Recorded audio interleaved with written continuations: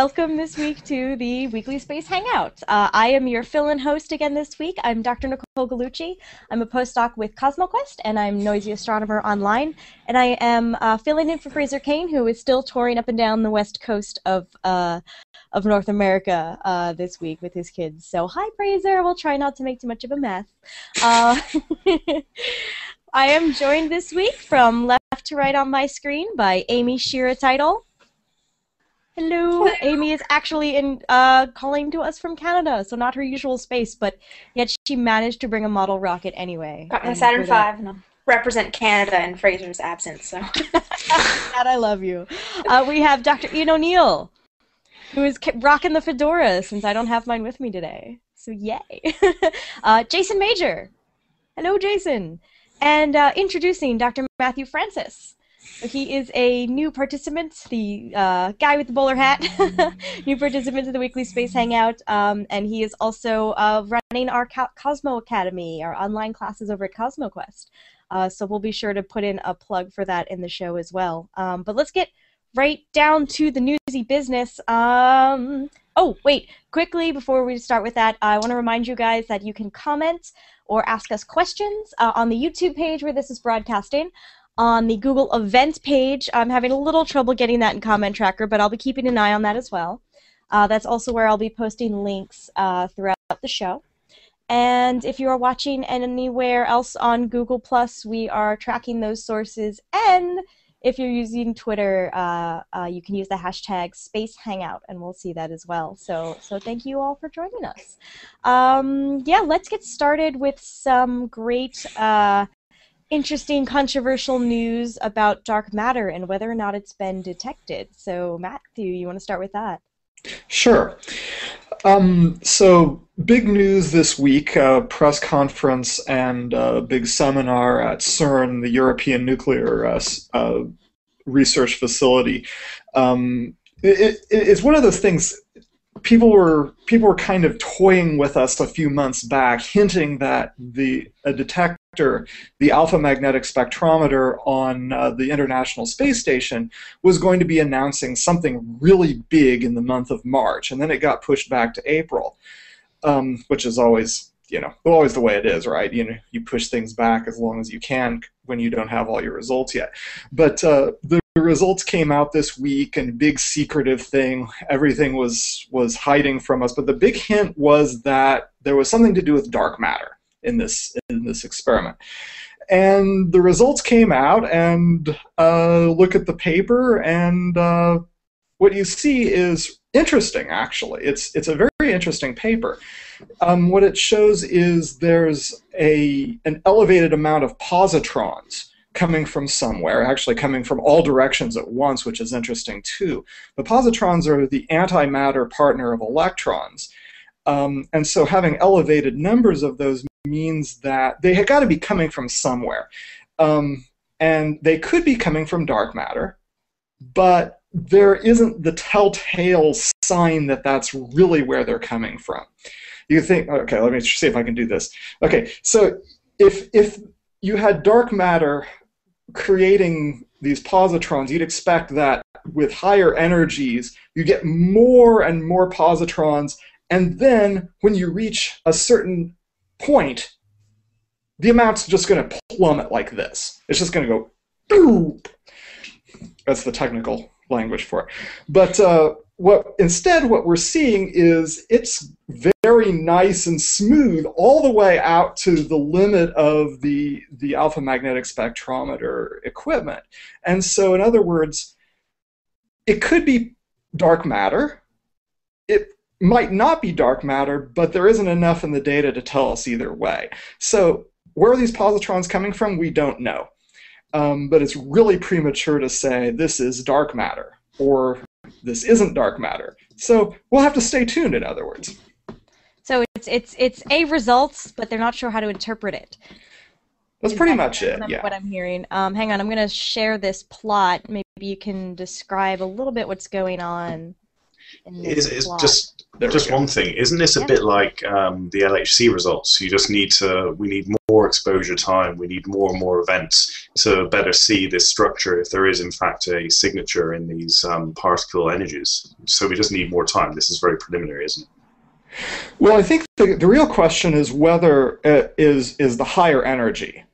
Um, AMS is going to be able to push out to higher energies, and this is a very long-running experiment. It's been running for 22 months right now, and it's going to continue to run for the foreseeable future uh, until the space station dies or the AMS dies. So they're going to be able to push out to higher higher energies, and uh, uh, there's nothing in the data that currently exists. So in other words, if it just res, just refining the data that's already there won't won't show up dark matter. But if we push to higher energies, um, there might be that that drop off instead of that gentle curve up. So is this on the plot here? It's um, is it that stuff that's at the highest energy? That's right, all the way all the way at the right end On of the the right. graph. This is the the, the, the red dots. Um, they've got really tiny error bars, which is it seems to be an important. Yeah, it's beautiful. I mean, I, I, I, I think it'd be it'd be easy to say, oh, this is just you know crappy, but this is actually very beautiful data. I'm I'm very pleased by the experiment actually, but uh, so don't think I'm quote, we can on quote them. that. We can quote uh, uh, Dr. Francis on this. This is not crappy. Not crap. This is, because obviously obviously everybody defers to my judgment on this, um, but no, it's I mean it's it's really it's it's really nice looking data. It's just you know it's premature to say what it means yet. Yeah, yeah. now, according to according to uh, uh, uh, Dr. Ting during the press conference that they held, um, this is only what 10% of the data Right. that's been collected already by the AMS. So they still have a Um, lot of data to go through, or is that only 10% of the data that's going to be collected over the I course think of it's the ten percent experiment? that's going to be collected. That's collected. going okay. Okay. Um, I may be wrong on that, but I think it's only ten percent of the all the data they're going to get. Okay, but still, this is there's there's this is or there's going to be a lot of data to pour, Right. through. and so when that's accumulated, the answer will be there. I mean, or an One hopes, one hopes, yeah. One hopes. Okay, so this is, but which particular dark matter hypothesis is this? Would this be supporting? Is this the the weakly interacting massive particle? Yes, and this particular is a kind that's called self-annihilating dark matter, which sounds pretty wild. Um, it, it, it, I was mentioning that positrons are the antimatter version of electrons. Mhm. Well, in this particular model, these dark matter particles are their own antiparticles. So if you run two of them into each other, Oh, they annihilate, and one of the products of that is positrons. Okay. Um, but of course, that's only one model of dark matter. So, um, and there's several different possibilities of self-annihilating dark matter. And again, I'm, you know, but there's, I, I'm- I'm picking the brains of my dark matter experts who who can tell me more about this. But uh, um, if you want the fancy term for it, that's called neutralinos. Yes. Um, okay. But they're but they're they if this is true then if you meet two neutralinos meet each other they annihilate hmm Gotcha. Okay, so no dark matter yet. yet. So uh, we'll keep an eye on that story as as it continues. Uh, I want to take a brief pause to uh, say uh, we've got a comment from from Michael on YouTube saying Happy First Contact Day, everybody. So all the Star Trek nerds out there, Zefram Cochrane made contact on this What day. is First Contact Day? Um, are you a Star Trek fan? No. Ah, okay. Well, we could fix that. Neat. it's when it's when humanity first made contact with another species, in, in this case, the Vulcans. So oh, in the show, course. yeah, this it was of course, of course. So yay for that. in other words we're really late yes, and we're dorks. And they taught us about all that fancy warp drive stuff, which uh, which is cool and handy. so uh, unfortunately, we have no warp drive stories today. But uh, Ian, I think you had some a little bit of um, Mars mission news to share with us. Oh yeah, yeah, pretty cool. Um, uh, well, yeah, that's fairly cool Martian news. Um, basically, the orbits of Earth and Mars are now in opposite ends of the sun. So basically, the sun has now moved in the way of our communications with Mars, and it's basically called a Mars solar conjunction. And of course, this causes kind of issues when you want to try and communicate with Mars because we're trying to fire our radio communications deep into the um, the solar corona, which is the Mm. the sun's um, the sun's atmosphere. And at the moment, if you could see Mars, uh, don't look at the sun right now because it's close to the sun.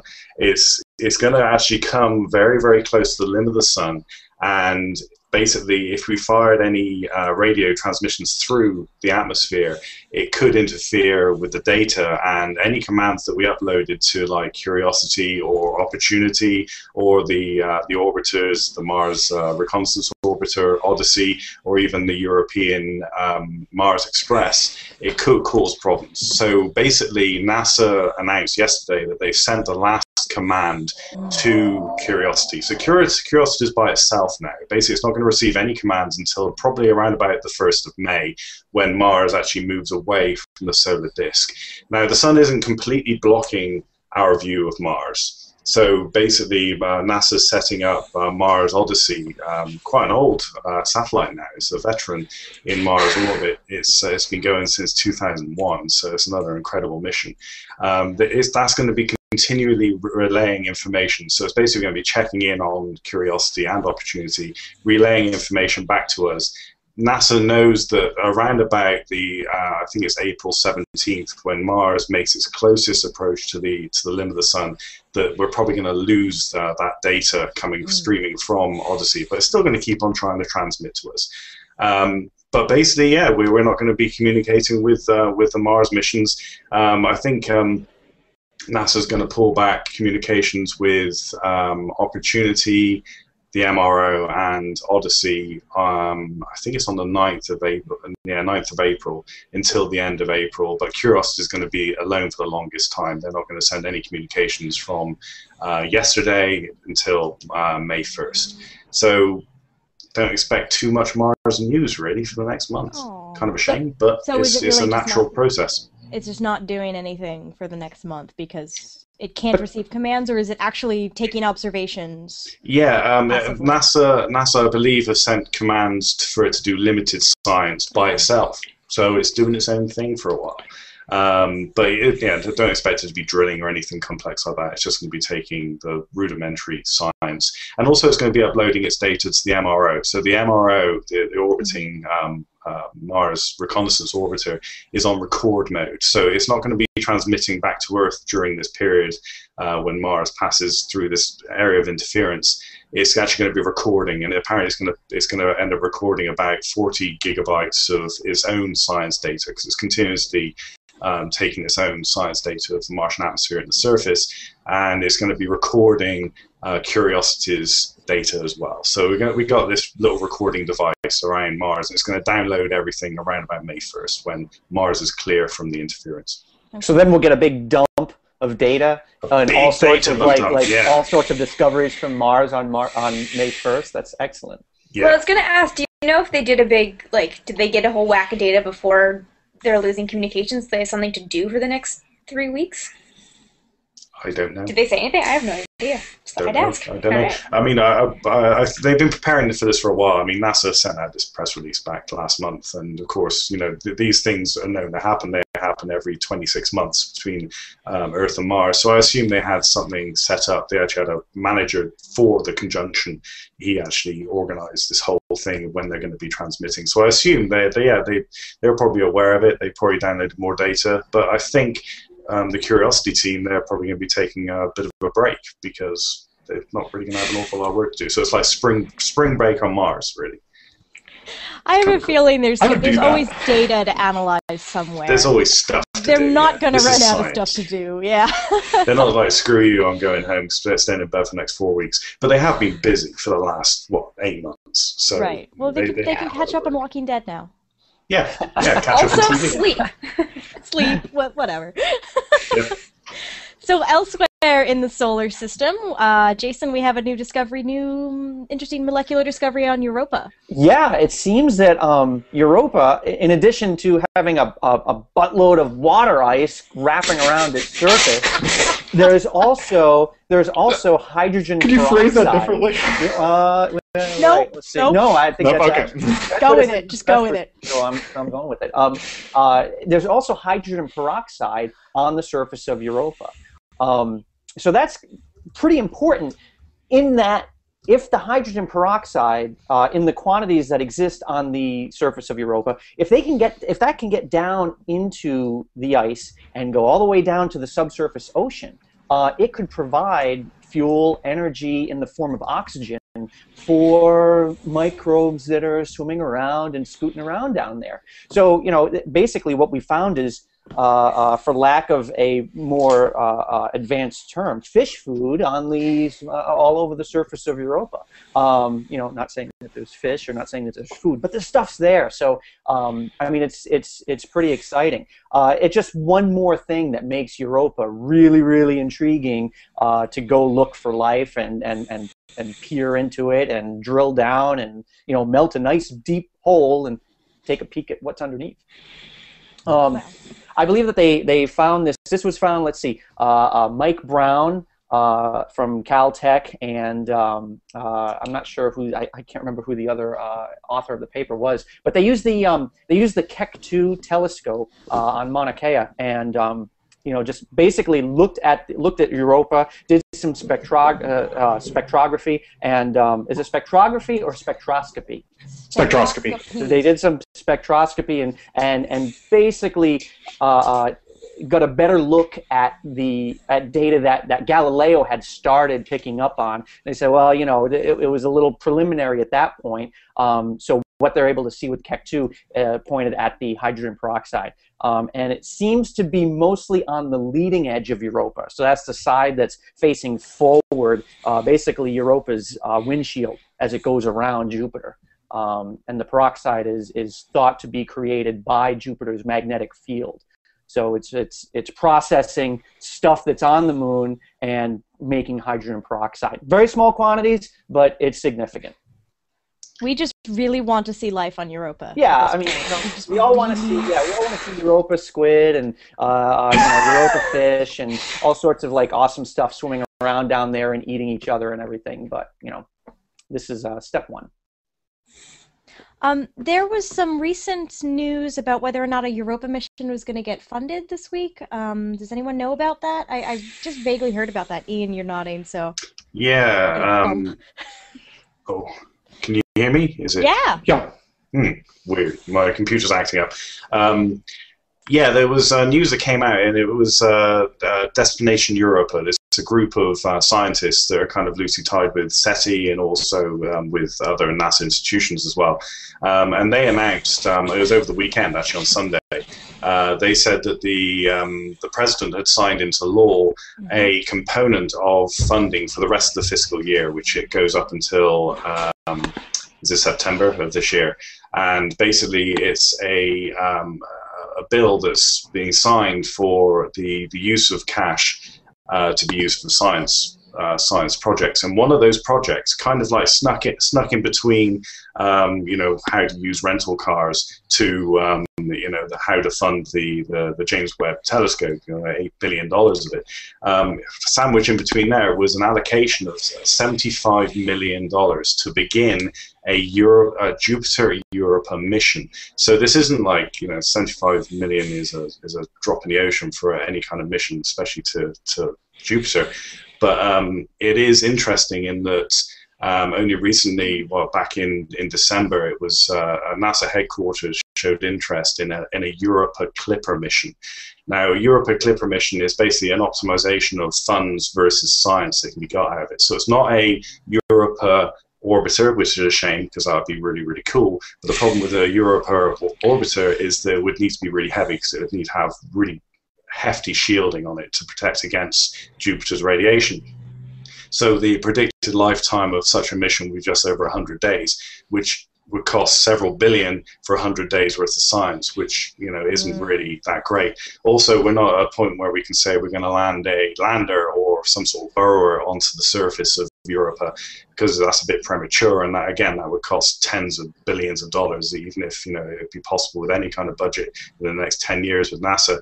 So really, the the most um, cost-effective mission that um, has been uh, looked at is the Europa Clipper, which is basically a um, a Jupiter orbiting um, satellite, and it's going to be making several passes of uh, of Europa, and each time it makes a pass, it makes uh, scientific observations of the surface and whatever atmosphere it's got, and its icy surface, and perhaps even search for uh, any uh, any evidence for life or the cycling that uh, Jason was talking about, the cycling of the internal ocean with the, with the surface, and it would be a really cool mission, and this is the first sign really to, to have you know 75 million signed into law that has to be allocated for a Europa mission by NASA that is a very hopeful sign. Um, of course, there's no details yet, and this is only seed money for, for an investigation and, uh, and preliminary uh, prototypes or whatever. But it's, it's, it's good news. It's good news for advocates of any planetary science, especially search for life, because at the moment we're kind of at, we're throwing all our eggs in one basket. At the moment, we've got all these missions around Mars, mm-hmm. which is basically a dust bowl, and we're looking for any trace of life or past habitability. Whereas we got this cauldron of potentially organic stuff just sitting uh, in, in, in Jupiter orbit. And of course, this isn't this isn't the only uh, moon that's interesting. You've got Titan in orbit around Saturn. You've got all these other fascinating places we could go and see. So this is a very nice um, indicator that there may be a slight departure away from Mars science towards um, science in the outer parts of the solar system. But we don't really know. This is only a tiny, tiny amount of funding for yeah. a possible mission, so we don't really know yet. Your Europa Clipper would would uh, uh, estimated to be what around two and a half billion.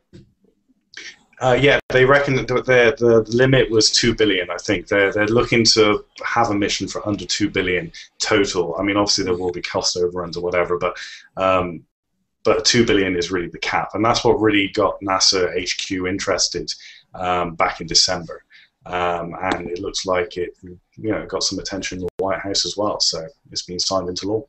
Interesting. Yeah, um, I would recommend follow the Planetary Society for for that. Yeah. This is where I, I originally heard from. So, so interesting. Let's um, attempt a landing there. we haven't been told not to yet. no so. one said not to. No one said not to. We could do it. We could do it. Okay. So, um, from the movie, a lot could go wrong. Yeah, that's okay. um, we have a quick question from Josh, Josh Andrews asking if there's ever been any plans to, this is relating to the Mars story, if there have ever been any plans to send a relight satellite um, somewhere else on Earth's orbit, say a quarter of the way out, to avoid these conjunction communications problems. And I've never yeah. heard of such a thing. I know the European Space Agency was looking at it. Sorry, is my mic on? Yes, it is. Um, okay. the, the European Space Agency had looked into it in the past, and I think it was just not feasible given that it's a. They were looking at putting it at one of the Lagrange points, so one of the mm-hmm. points where it would not be interrupted and could sort of be a relay. But um, the, the articles I read about it, because I did look into this a, a, few a few months ago now, um, that it sort of wasn't worth it for like the two weeks every two years that you're missing in communications because like yeah. this is this would not be an insubstantial thing to launch and then to anchor it there with gravity. So i, I think it was has right. just been like it's possible but nobody's really going to back it. You know what they should do? You know what they should do? They should they should have some sort of a relay capability on the um, on the sentinel program that uh, b612 foundations is, is planning on putting out there because it's going to be one of those uh, Lagrange yeah. spot. So it's going to kind of be at that you know that 90 degree position from Earth. Uh, who knows? I mean, you know, I'm just throwing it out there. And, and also, really cool science can be done in those spots because there's this theory that perhaps there's loads of Trojan as- asteroids oh, just sitting yeah. out there. So wouldn't it be right. cool if we can actually send a mission out there to do some scouting around and also have a relay station? But also there is a solar mission, the Stereo mission, which has got two satellites mm-hmm. That are going around opposite sides of the sun. So for the first time in human history, we've got uh, 360 degree capability of observa- observation of the sun. So wouldn't it have been cool if we could add relay stations on those? So we've already got them out there, but Right. Oh, so there's cool. How, how would you retrofit something that's that far away? You can't right now. Not now. yeah, yeah. So. Our robots are not good enough yet. um, Amy, you have some interesting space history that ties into an event happening next week. Yes, blast from the past, everyone. Um, so next Friday, which means I'll be talking about this again next week, undoubtedly, is um, the anniversary of Yuri Gagarin's first orbital flight. So uh, we all we all know Yuri Gagarin. He's kind of everywhere. Every year he pops up. He's the first cosmonaut to, and the first person in history to go around the Earth. Um, so just I got we- I got Vostok 2 on my T-shirt. See? there you go. Nice. He was Vostok one. So yeah, Soviets everywhere. Awesome. Um, so we, we sort of tell the story of you know uh, Yuri Gagarin blindsided the U.S. going into orbit before uh, NASA got Al Shepard up on his suborbital flight, and um, we sort of don't don't talk about sort of the before and during and after bits. We just kind of talk about the fact that he did it. Um, so I thought I'd, I'd talk a little bit today about how he ended up being chosen to be the first cosmonaut. Because how do you pick who's going to go first in a nation where image is everything? Um, so when it first, I mean, the idea of sending a man into space first came up in actually about 1956. Sergei Korolev, who was sort of the unknown chief designer, or their answer to the American von Braun, um, we just kind of thought it would be neat. And two years later, he'd put two Sputniks up, and they're like, okay, let's get that guy. So they started recruiting. Um, they went through the exact same process as NASA, actually, in terms of looking at like race car drivers, stunt divers, uh, acrobats, midgets. I mean, any kind of people before they settled on military test pilots because they're the ones that could deal with G forces and spot oncoming hypoxia and deal with all these kinds of things. Um, and in 1958, all Soviet test pilots were basically the same age, had been through the exact same training, had flown the exact same. Uh, same airplanes. So in America, we had I think 110 that qualified for the first round, met all the basic requirements for the Mercury astronauts. The Soviet Union had over 3,000. I mean, they had this huge pool of equally qualified applicants. So then they had to pick one out of that many. So they, you know, they did all the uh, the medical tests, the psychological tests, but then they also had this this series of tests, and I, I have no idea how they tested this, but they wanted to see who had the right political allegiance and who could represent the communist way of life the best. And they looked into their backgrounds, not in terms of like, you know, are you are you an unsavory Presbyterian or a very savory Presbyterian? It was where did your family come from, and have you ever said anything against the system? And as sort of the group got whittled down and down and down, there were 20 that made it into the first training group, and they were still they they were cosmonaut candidates until they were. Um, they were candidates until they flew. So all these candidates are going. Um, and when it comes down down to the wire, they've got the Vostok built. They're about a year away. They choose six to be sort of like the prime candidates. And the six were chosen because they were the shortest, because the Vostok spacecraft was not very big. So height plays into it uh, right at the end. Um, and Yuri Gagarin wasn't actually the standout of his class in terms of his, his intelligence, his background, um, his intellect, but he was a farmer's son. And he grew up in a communal farming rural area. He was an all around nice guy. And he sort of went against his family tradition of carpentry to pursue um, to pursue the Soviet Air Force system. So he rose up through the ranks of communism to become potentially their greatest asset. And no one thought he was that great, but Sergei Khrushchev, the Soviet premier, thought he was just tops. And he wanted this good looking young man who could prove that the Soviet way of life could bring you to greatness. And that's why Yuri Gagarin ended up in the first flight, because he fit the profile more than he fit what you needed to be to be a cosmonaut. I mean, they couldn't do anything on Vostok 1. I mean, he, he didn't even have the self destruct code. He, he was really just kind of crammed in there. Um, but yeah, he was he was a really good face for the Soviet space program which is a really weird thing to think about. Your first person in history is chosen because it's got a good face. So good how tall history, was good Yuri? pedigree? you know what? I don't know off the top of my head, and I was actually looking into this yesterday. Um, if anyone has has Google that won't crash when they use it, look it up and let me know. Um, yeah. Cool. Really cool. And so now Fun next facts of the Soviet space program. Yeah. And um, so next Friday is Yuri's Night, which is a big worldwide party for human spaceflight. And so uh, we just had a hangout about this on Wednesday, so you can see that on our CosmoQuest page. We talked with one of the organizers of Yuri's Night. Um, so regardless of, of nationality, um, the, the idea of Yuri's Night is now to bring together humanity to celebrate and, and have a big party. Uh, not just, you know, not not necessarily to do, you know, education and metrics and all that, but to have a party celebrating human spaceflight um, in honor of Yuri Gagarin. So that's pretty cool. Yuri was five two. What? Really? Yuri oh, was it five was two. really. Really? Taller than Yuri Gagarin. So yes. You- That's like That's- me and Amy. That's size. really yeah, because that's really interesting. Because the the Mercury astronauts had to be between I think it was five seven. Yeah five and seven. Like I think Gus 5'11". Grissom. Gus Grissom was five Because seven. he was he was like five six and a half or something. He like just squeaked Just under. made 'cause it, He was yeah. the short one. Yeah. Um, yeah, Yeah. th- I um, that's really little. So yeah, all the all the first guys that flew were the short ones. Yeah. Woohoo! Uh, German Titov, who flew in Vostok 2, your shirt, Jason, who's also must have been somewhere around that height. Because yeah, They didn't have adjustable tilt steering in those days, so you know you had. I don't think they had adjustable anything. It was like you, you cram in now. Yeah. You fit. You fit in this little metal can, and that's how it works. That's how it Yeah. works.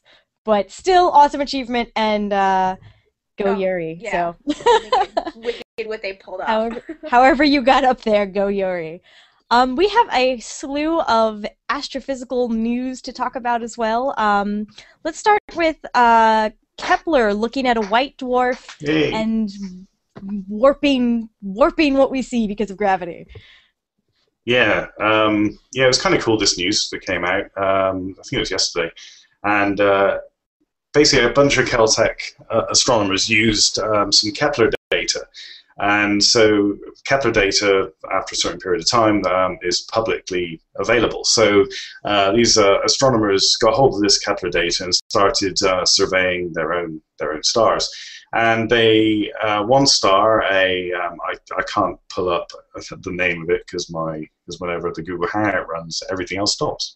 apparently, um, uh, they, they they they they focused on one star and they thought they saw a transit of a massive planet. Now, um, Kepler looks for exoplanets by looking for their silhouette as they pass in front of a star. So there's a slight dimming of starlight in in the Kepler field of view, and then Kepler knows that a, a, a planet has transited passed in front of that star, and these KOI256, Ian. Was it? KOI two five six. Oh, I know it well. Yeah, and, and KOI means uh, Kepler Object of Interest, Oh. which is kind of cool. Um, so they thought they saw a uh, massive planet like a Jupiter gas giant pass in front of the star. But there was something weird. They did some follow up observations with the Palomar Observatory down here in Southern California.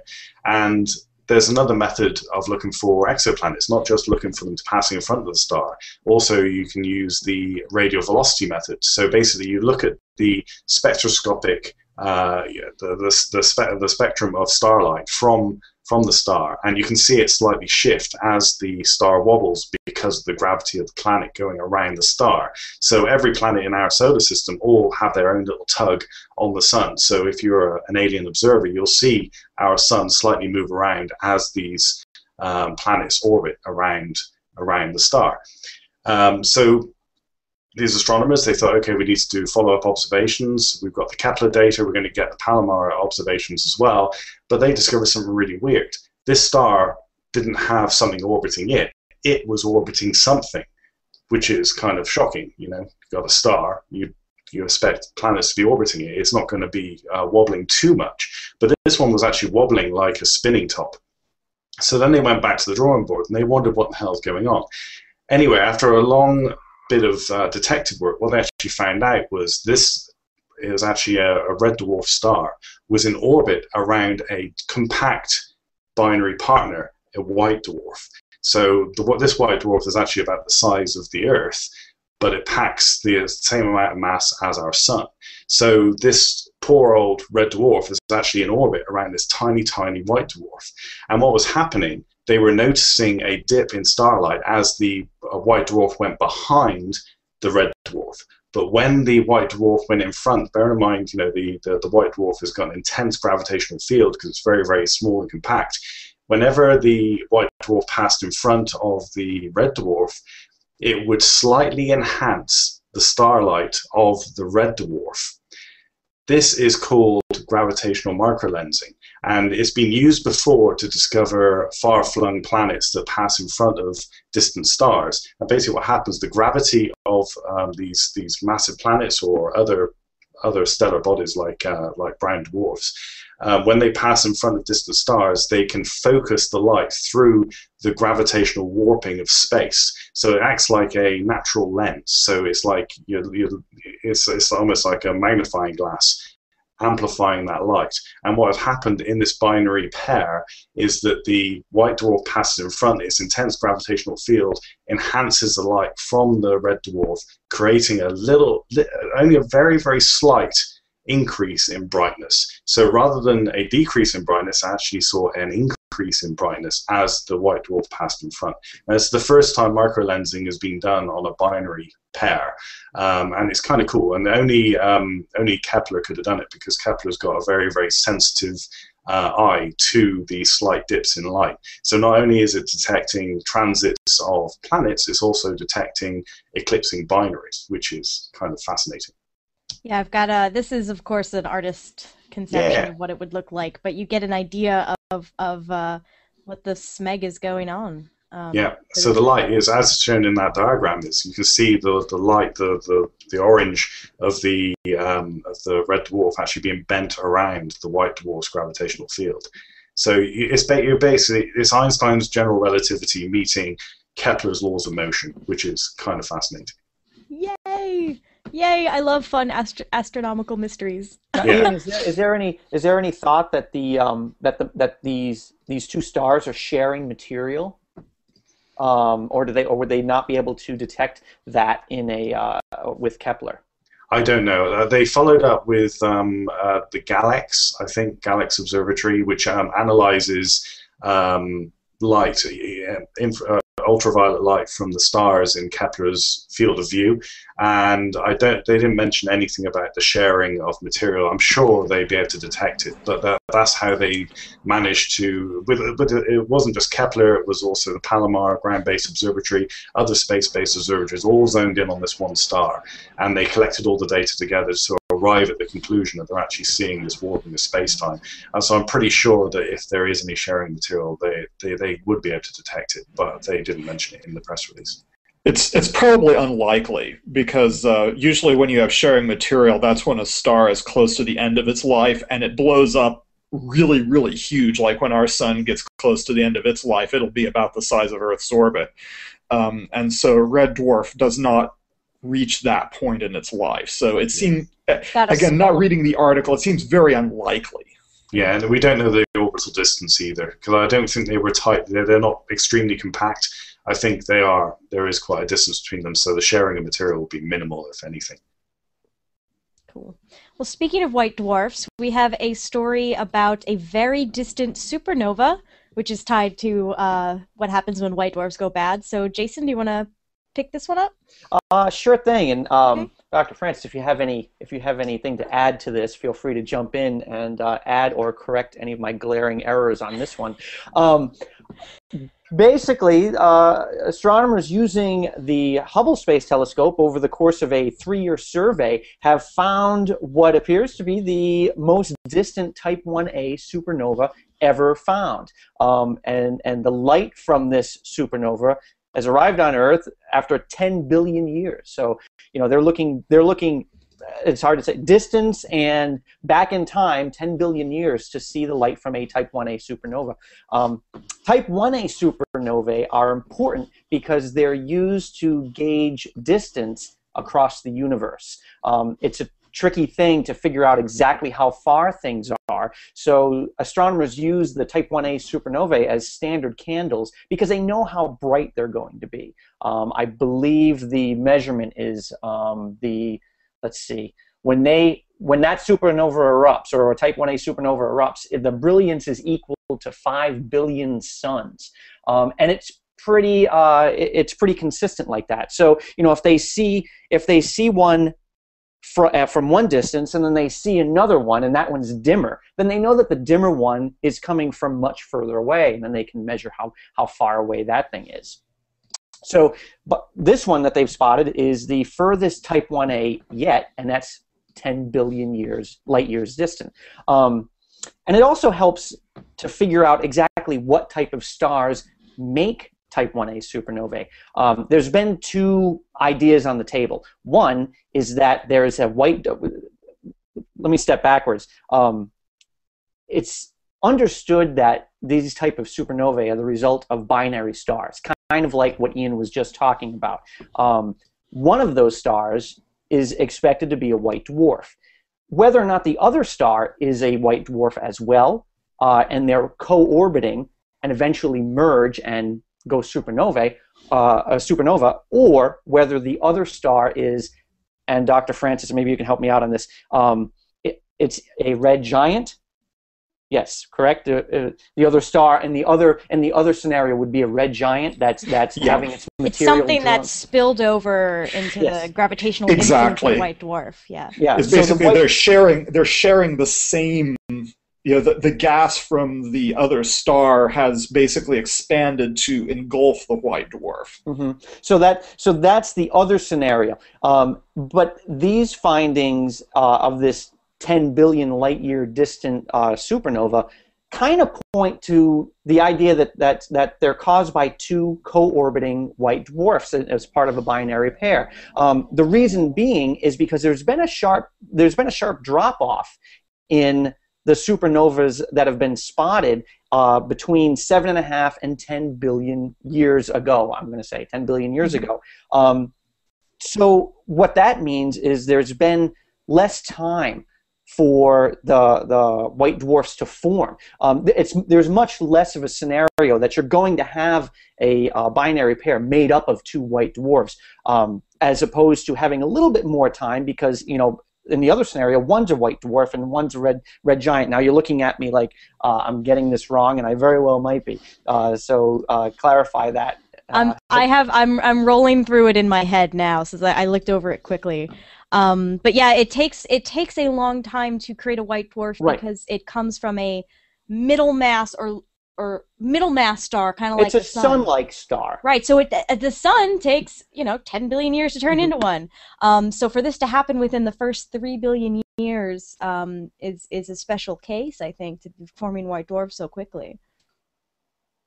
Right. So that so then to have so then to have two of them as part of a binary pair takes a certain amount of time.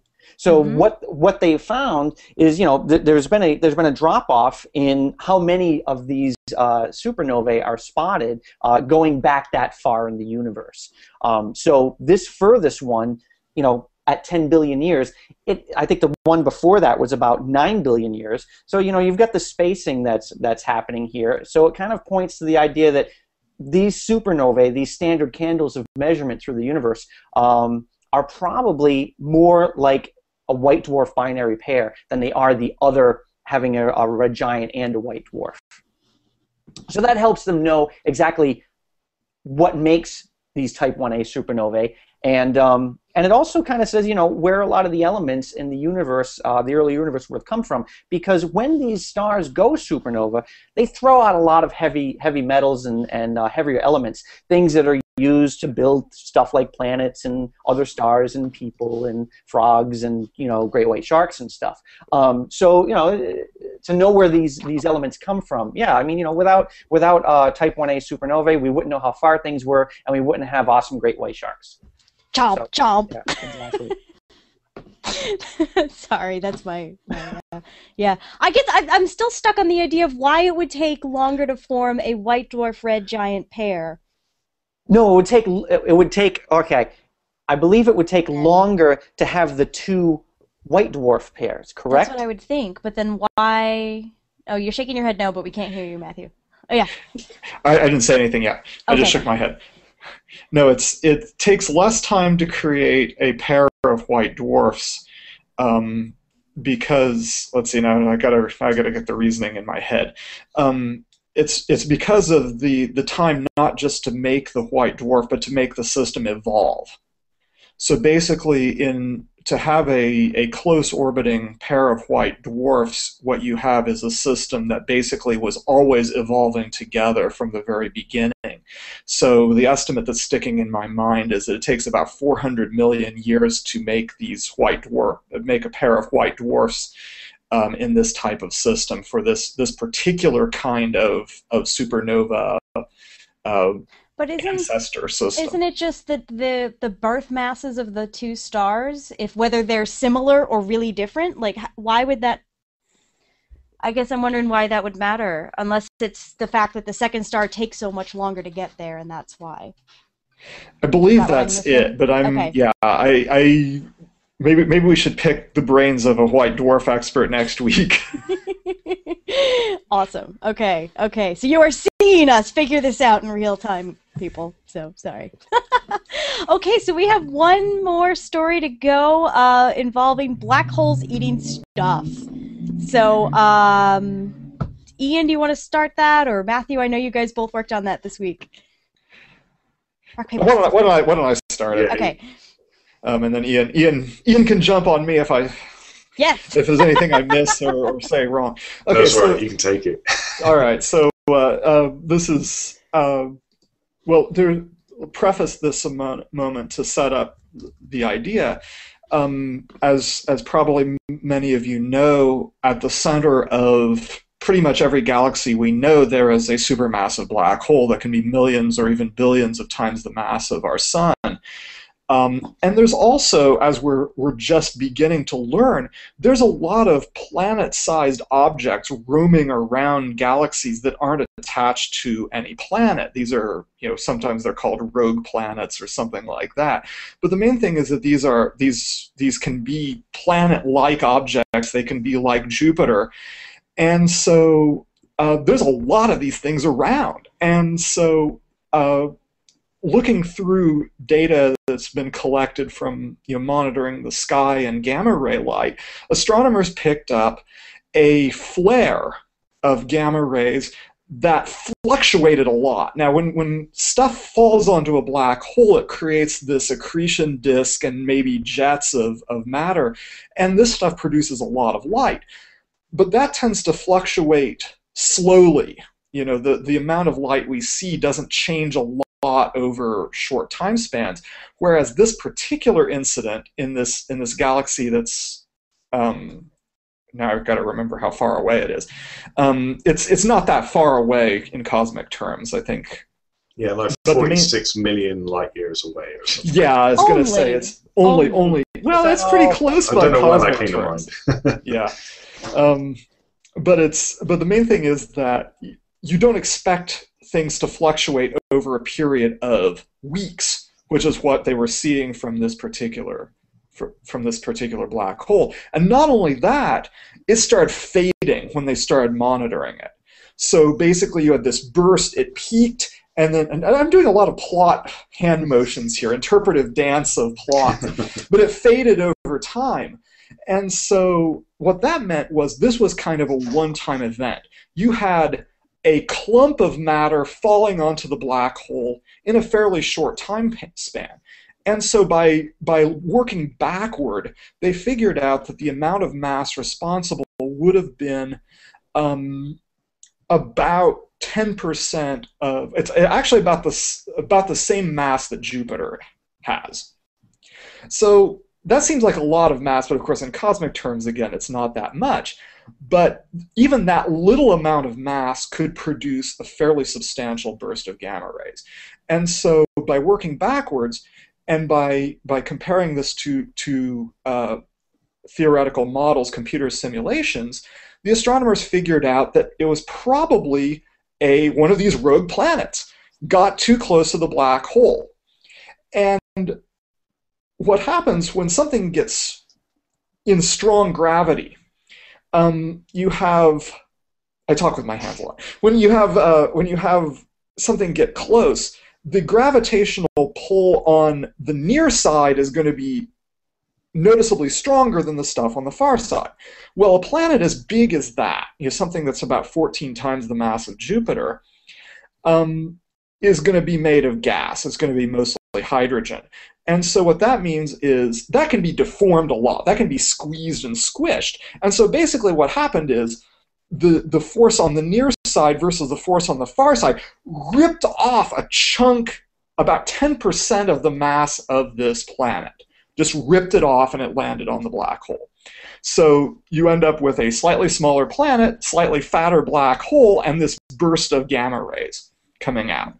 And so uh, think about this black hole as being, you know, having having a bit of a, a, snack off of this this rogue planet that happened to get too close, and let that be a lesson to all of us. It was kind of funny actually, because what you said just then, how a black hole waking up and having a snack. I got in serious trouble with some of our readers for even mentioning that it woke up or had dinner or a planet was on the menu. It was like, guys, this is science communication. Get the munchies. Get the money. Yeah, that was I, that was my original title. I did that before. Um, oh, that's last... what the, that's what the URL still says. Yeah, yeah, the URL does because that was my original title. But then I realized I already used that because there is actually a gas cloud heading towards the set, oh, the, the black hole, the center of our galaxy, and they think that this gas cloud is actually going to start being ingested by mm-hmm. uh, Sagittarius A star the uh, the supermassive black hole in the center of the Milky Way. Um, it's going to stay tuned for September. I think that's uh, yeah, that's it's, the, it's coming up. So we've got another big year of uh, cool stuff going on. So keep an eye on our black hole. We're a safe distance, though. We're okay. Yeah. But can I can I say just quick, just interrupt yeah. this uh, communication? Matt, you've got a fantastic background there. You've mm. decided to fill up your wardrobe with science books. I love it. Because if you look at mine, it's full of my wife's clothes. what? Tangential. Yeah. Tangential. I was just completely in awe of your books. I was that's thinking, where funny. is his books? Oh, it's in his wardrobe. Let's go look at his books. I can't read the titles, but that's in your closet. I saw numerical recipes. Yep, numerical recipes. so that's one that's familiar to uh, many of us who, who I love it. graduate school. The, the moral of the story is don't pick on Ian for his titles because they're funny. Well, actually, I, I, will I'll take see your title and raise mine. I used the phrase "om nom nom" in my title, and that that is the oh. first time Ars Technica has ever uh, published the phrase "om nom nom" in anything. Love it. So, in the context of a black hole eating a planet. See, I have Ian as my editor, so I, I get I get away with fun stuff, which I love. Um, you get clearance. A, yes, we have a related question from Polygana9 on YouTube asking if black holes are necessary for our universe to work. And I don't know what you mean by um, to work, but black holes are definitely the um, uh, interestingly black holes are the least weird and most sensible explanation for a lot of these things that we see yeah, um, I think uh, Nicole, you wrote an article on this, didn't you, about the um, uh, the central uh, black holes can turn on and off um, star creation in oh, galaxies. Yeah. Oh so, yeah, yes. yeah. They're they're they're an important part of the of the evolution of galaxies and uh, the end products of stellar evolution. But they are the yeah even though they sound like a weird object they are the least weird thing that fits all the data that we that we have one one question i, I tend to get from a lot of people uh, when i talk about black holes is they're kind of confused as to how a black hole which supposedly is um, has so much of a gravity that light can't escape and all that other stuff is flinging out material. Um, they're like, well, if stuff goes into a black hole and can't come out, then how come we can see anything from it? So then I have to explain how they're messy eaters and all that other stuff, and you know things get get spit out and, right. and magnetic fields, and usually by that point their eyes glaze over because they don't really want a whole answer. They just well, you know basically, wanted, wanted to... yeah, basically it's a communication error on our part. I take the responsibility as a scientist and science communicator. I blame Nicole. Blame me. Yeah, I blame Nicole. I should have just blamed you. I should have just said just just defer all complaints to Nicole. She's you know the professional. I can take it. I can take it. It's all good. Um, but you know, we say we it's the way we say everything goes into a black hole, but it's everything that gets too close. It's the stuff that's just outside that too close that can get energetic and spewed forth. So that, that I think is the difference where where we confuse people in the way we communicate it. So black holes cool. We can still see what they do to the stuff around them. That's that's I think, think the important part. So, all right, uh, that is all we had on tap for this week's space stories. Uh, I want to thank you all for coming along. Um, before we go, uh, before we do our sign off, I want to ask Matthew to do a brief plug for the CosmoQuest classes that we have coming up. Yes, indeed. Um, I am the. I, I, didn't put it in my tag, but I am the uh, director of Cosmo Academy, a new position. I am the first, I guess. But we're offering two classes starting this month. The first is a class on uh, stars and stellar evolution, which means basically starting from the cloud that makes stars and going all the way through to the death of stars and uh, to to uh, um, talk about where we came from in the context of actually what Jason mentioned earlier. Um, we come from stars. Our, the atoms, pretty much every atom in your body came through a star at some point.